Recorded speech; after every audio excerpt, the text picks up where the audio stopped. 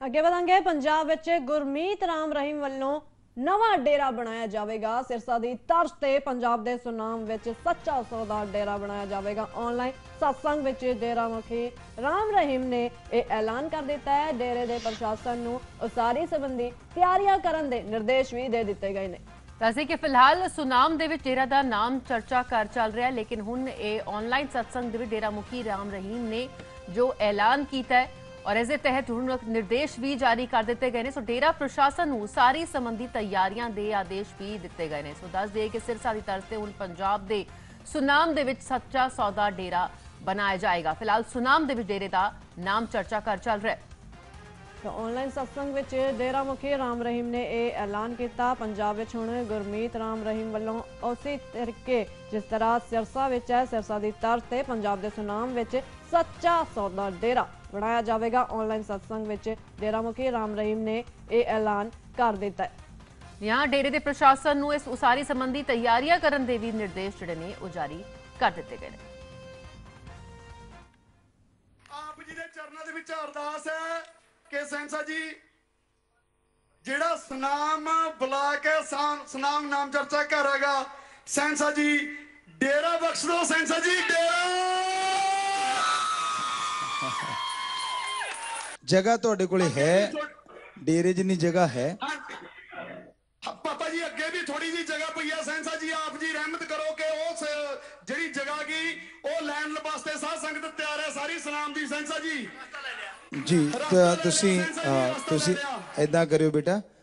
ਸੁਨਾਮ ਵਾਲੇ ਜਿਹੜੇ ਜ਼ਿੰਮੇਵਾਰ ਹੈ ਤੁਸੀਂ ਐਡਮ ਵਾਲਿਆਂ ਨੂੰ ਮਿਲ ਲਿਓ। ਫਿਰ ਆਪਾਂ ਬਣਾਉਣ ਤੇ ਕਿਹੜਾ ਦੇਰ ਲੱਗਣੀ ਹੈ?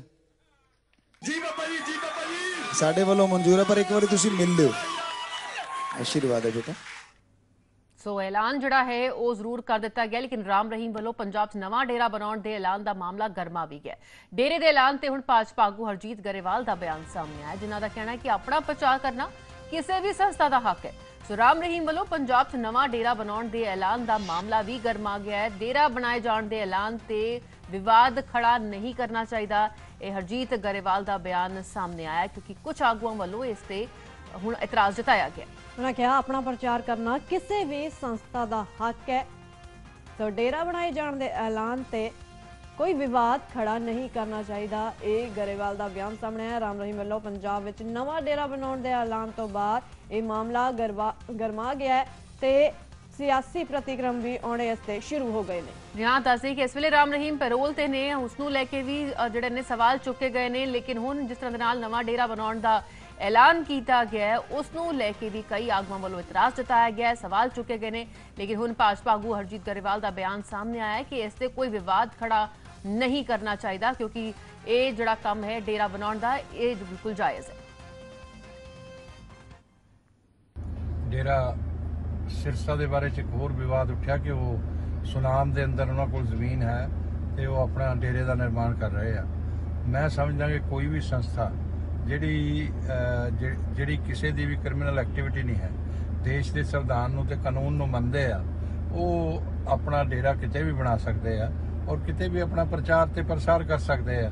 ਤੇ ਜੇ ਜੇ ਕੋਈ ਗਲਤ ਕੰਮ ਕਰੇਗਾ ਉਸ ਨੂੰ ਸਜ਼ਾ ਕਾਨੂੰਨ ਦਿੰਦਾ, ਕਾਨੂੰਨ ਮੁਤਾਬਕ ਆ। ਇਸ ਤਰ੍ਹਾਂ ਦੀਆਂ ਗੱਲਾਂ ਇਹਨਾਂ ਨੂੰ ਵਿਵਾਦ 'ਚ ਲੈ ਕੇ ਜਾਣਾ ਮੇਰਾ ਖਿਆਲ ਇਹ ਠੀਕ ਨਹੀਂ ਹੈ। ਜੇ ਡੇਰਾ ਆਪਣਾ ਕੰਮ ਸ਼ਾਂਤਮਈ ਤਰੀਕੇ ਨਾਲ ਕਰਦਾ ਤਾਂ ਬਾਕੀ ਦੇਸ਼ 'ਚ ਵੀ ਕਰ ਹੀ ਰਹੇ ਆ ਉਹ। ਔਰ ਸਭ ਜਗ੍ਹਾ ਪੰਜਾਬ 'ਚ ਵੀ ਕਰ ਰਹੇ ਆ। ਔਰ ਇੱਕ ਇੱਕ ਜਗ੍ਹਾ ਤੇ ਜਿਸ ਤਰ੍ਹਾਂ ਸਲਾਬਤਪੁਰਾ ਡੇਰਾ, ਉੱਥੇ 24 25 ਲੱਖ ਦਾ ਇਕੱਠ ਮੈਂ ਆਪ ਦੇਖਿਆ।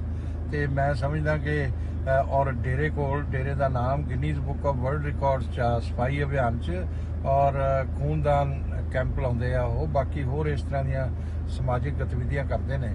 ਤੇ ਮੈਂ ਸਮਝਦਾ ਕੋਈ ਬੁਰੀ ਗੱਲ ਨਹੀਂ ਹੈ ਔਰ ਇਸ ਤਰ੍ਹਾਂ ਦੇ ਵਿਵਾਦ ਨਹੀਂ ਉਠਾਉਣੇ ਚਾਹੀਦੇ ਜ਼ਿਆਦਾ ਔਰ ਜਿਹੜੇ ਲੋਕ ਉਠਾਉਂਦੇ ਆ ਉਹ ਆਪਣੇ ਆਪ ਨੂੰ ਵੀ ਛੋਟਾ ਕਰਦੇ ਆ ਔਰ ਸਾਹਮਣੇ ਵਾਲਿਆਂ ਨੂੰ ਤੱਕ ਖਰਾਬ ਕਰਦੇ ਹੀ ਆ ਪੰਜਾਬ ਦਾ ਮਾਹੌਲ ਵੀ ਖਰਾਬ ਕਰਦੇ